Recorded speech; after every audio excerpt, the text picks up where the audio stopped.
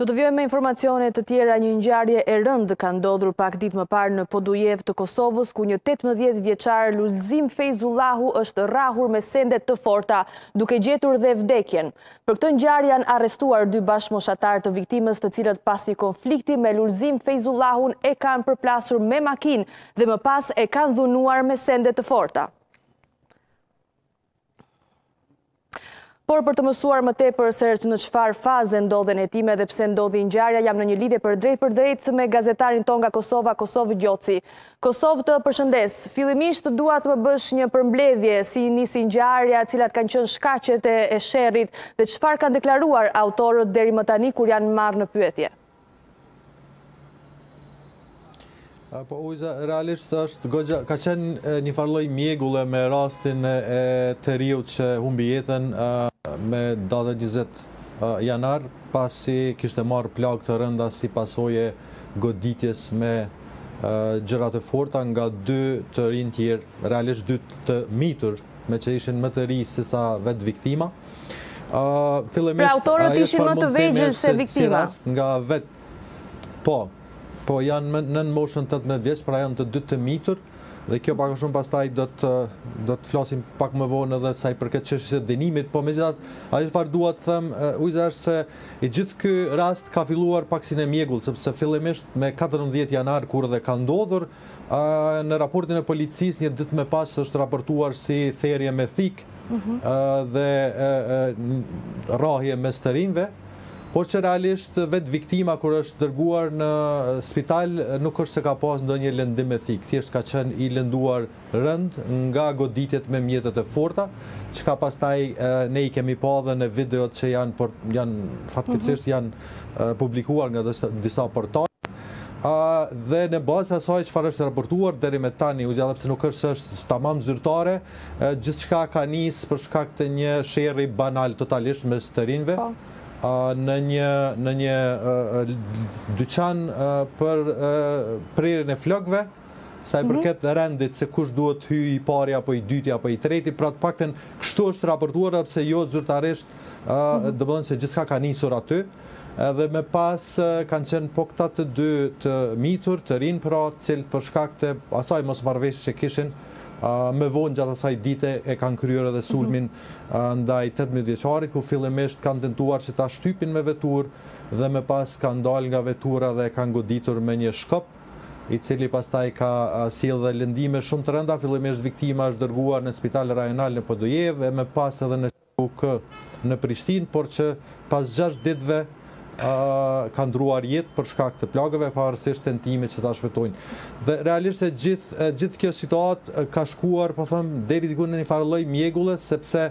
për shkak të raportimit jo korrekt ose ndonjë gabimi ose po. ende nuk dihet saktë se çfarë ka qenë arsyeja që është raportuar në këtë formë, por kanë qenë pastaj mjekët kujdestarë që e kanë trajtuar që kanë bërë të ditur që realisht viktima nuk ka pas asnjë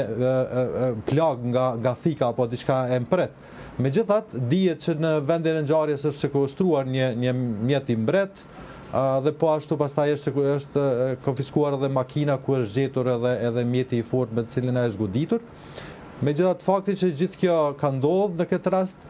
ka qenë Inspektorati i Policisë së Kosovës që tashmë ka filluar hetimin edhe sa i përket mënyrës së raportimit për rastin Ujza, sepse vetëm në ditën kur i riu ndërroi jetë, pak a shumë u mor vesh se çfarë ka ndodhur. Deri në atë ditë, realisht as mediat nuk është se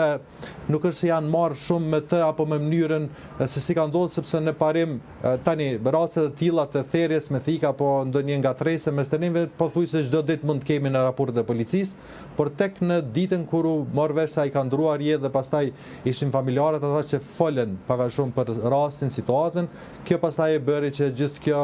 ngjarje të dalë në pah dhe të të shohim po them edhe ne se çfarë rasti i rëndë ishte. Kështu që pak a shumë kështu ka rrjedhë, tani tashmë dihet që mhm. dy të rinj, dy të miturit janë të arrestuar po, dhe po vazhdojnë hetimet edhe sa i përket rastit me të rinj. Kosovë, dua të pyes kush janë ata, po. cilët kanë qenë, cila ka qenë e shkuara kriminale e tyre, pasi siç e the dhe ti pak më para, ata ishin më të vegjël se viktima.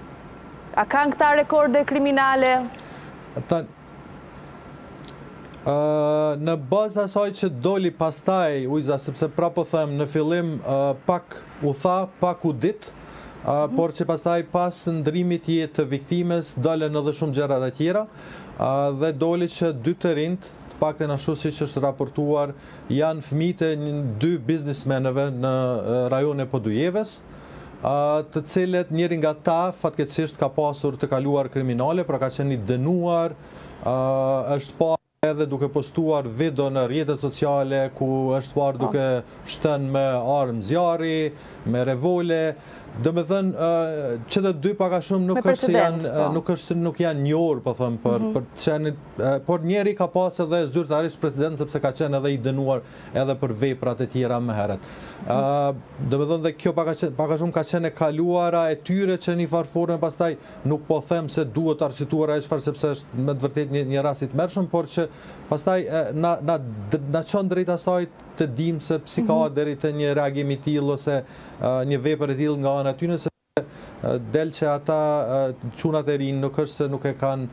domethënë e kaluara e tyre është e lidhur pak a shumë edhe me vepra të tjera të tilla. Po, në bazë të ligjit në Kosovë, tani si do të veprojë drejtësia, sa vite burg rrezikojnë dy të rinjtë të cilët kanë bërë këtë vepër? E çfarë qëndrimesh kanë mbajtur edhe familjarët e viktimës, por edhe a ka pasur ndonjë reagim edhe nga familjarët e autorëve? Në bazë të asaj çfarë është thënë nga avokatë, nga njerëz që e njohin pak a shumë kodin penal të Kosovës, për shkak të moshës që kanë dy të, pra dy dorasit, gjasat janë që ata të dënohen maksimalisht nëse s'gaboj dikun rreth 10 vjet burg. Mhm. Pra po them për faktin se ata janë në moshën 18 vjet që të dy. Megjithatë kjo mbetet të shihet si është e rregulluar me ligj nëse ata mund të rigjykohen, po them, në momentin kur ata kanë moshën madhore, kështu që mbetet të shihet. Pra po them, në bazë të asaj çfarë është thënë nga njerëz që e njohin ligjin, Kodin Penal të Kosovës, atëherë dënimi që mund të marrin ata për shkak të veprës penale e cila fillimisht u konsiderua si therje me thikë, por pas vdekjes së viktimës është rishikuar dhe tani konsiderohet si vrasje e rëndë. atëherë ata mund të dënohen deri në dhjetë vjet burg. Ndërkohë që kemi pas deklarime të shkurta nga ana e familjarëve të viktimës që ajo çfarë dimë deri me tani është se viktima ka qenë jetim, pra nuk ka pas prind, është rritur nga axha i tij, pra nga xhaxha i tij po. dhe normalisht se ata kanë kanë domethënë kanë qenë shumë të janë të traumatizuar, do të thoja, për shkak asaj çfarë ka ndodhur, për arsyen se ka ndodhur sepse Pak a shumë një pjesë e madhe e informacioneve rreth asaj se si ka ndodhë dhe çfarë ka ndodhë, kryesisht ka dalë nga familjarët e viktimës, ndërkohë që të paktën deri më tani nuk është se kam pa ndonjë reagim nga familjarët e dy çunave të cilët kanë qenë edhe kanë kryer këtë vepër penale. Të paktën deri më tani nuk nuk është se kam pa ndonjë reagim, qoftë në media apo edhe diku tjetër. E kuptova. Kosovë, të falenderoj për të gjitha informacionet dhe për këtë raportim.